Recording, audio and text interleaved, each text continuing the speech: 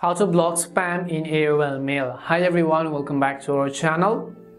This is your solution guide Bimal. In today's guide video, I will show you the way on how you can actually block spam emails on the AOL Mail app. But before we get started with the video, if you are new to our channel, do make sure to leave a like and hit the subscribe button without any further ado or delay. Let's get started with today's video.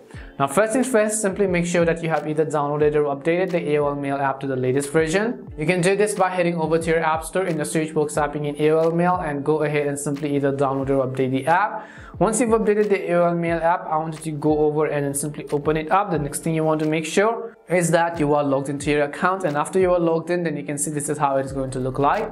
But default it will take you to the browser web interface. So what you have to do is tap on this inbox button which you see at the bottom left corner once you go to the inbox tab, you'll see all the sorts of various options. Now all you have to do is to simply long press on the mails that you want to mark as spam. And once you do that, you'll find the little three dots at the bottom right corner or you can tap on this move button as well. When you tap on move, you have to select the option called spam over here.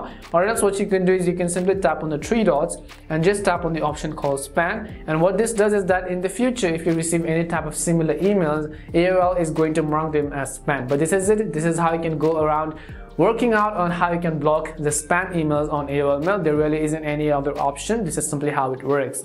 We hope the video was really helpful and if it did help you then make sure to leave a like and subscribe to the channel. If you have got any more questions, queries or doubts then simply also make sure to leave them down in the comment section.